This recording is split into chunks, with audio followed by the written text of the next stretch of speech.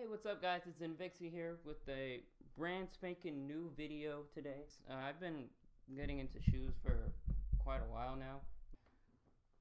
I'm going to be reviewing the Air Jordan 10 Double Nickels. Now, before we get into it, it's called the Double Nickel because when uh, Michael Jordan, when when he returned from his retirement, number 45, and he scored 55 points in the game really like the Chicago's that came out I think three or four years ago, and uh, it it was the same color and everything, well except for a couple things, and uh, you didn't have the uh, 45 on it, right here. You didn't have the 45, and uh, that's because I don't know they just didn't do that yet. Sorry, I thought I was gonna burp. And uh, also, the Jumpman logo used to be red, and now it's black. And uh, the sock liner was red, but it had like this weird polka dot thing that I'm not really a big fan of. But uh, you have this tumbled leather up top, and then you have black tumble leather in the uh, lace right here. Then uh, you have your whole like nylon whatever lacing system. I like the laces because they're not flat like the ones, because because when you lace them up like this, it, they actually stay like that and they don't go like like that, you know. and uh, and it has uh, leather right here too, but it's not tumbled. It's in white.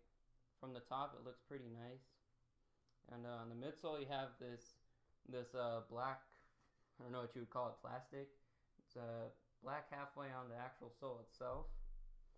And then um, on the bottom, you have a red and black uh, color scheme with the white Jumpman logo, and you have all his achievements, which is on like every 10.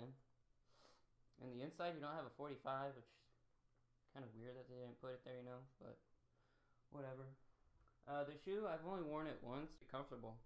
Uh, I would recommend going true to size. Some people say half a size down because they are little crease beast, crease beast, and uh, so yeah. And then also right here on the on the tongue, you have uh, Air Jordan 23.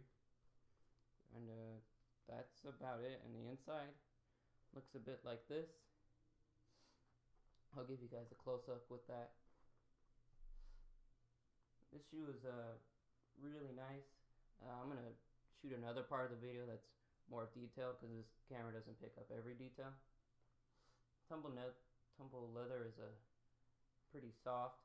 It's a re uh, people are saying it's the remastered version of the Chicago's, you know, and based on like pictures and stuff, I never had them in hand, but I've seen it before. Uh, this is a, a lot better. And if these do crease, you can always do the rag and the iron. The only thing is, is that it's gonna take away the tumble texture, and it's gonna look, it's gonna look like this right here, but right here, that doesn't really look nice. So uh, yeah. Uh, that's it. The shoe overall is good. I guess a, a 9 out of 10 on it. The quality seems pretty decent. I say go true to size. And uh, subscribe, like if you guys want to see more I got a date with destiny. My heart says yeah, but can't convince the rest of me.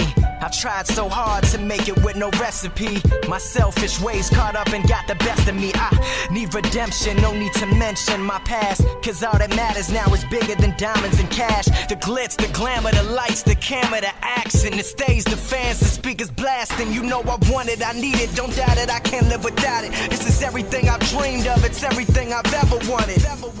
But is it really truly in my plans? Or did God mix up my blueprints? Did he have it right there in his hands? Anybody give me a hint? I can feel it now, I know it's coming. And I don't give a fuck what anybody say.